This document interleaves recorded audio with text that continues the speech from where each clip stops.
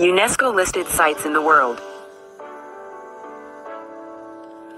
A World Heritage Site is a landmark that is legally protected by the United Nations Educational, Scientific and Cultural Organization, UNESCO.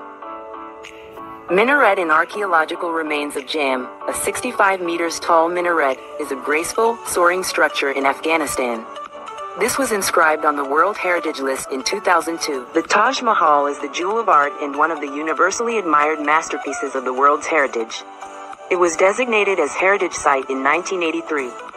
Takht-e Soleyman, an archaeological site in Iran, has important symbolic significance. It was inscribed as a heritage site in 2003.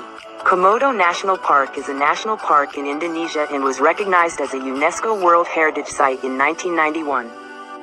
The Great Barrier Reef is a site of remarkable variety and beauty on the northeast coast of Australia.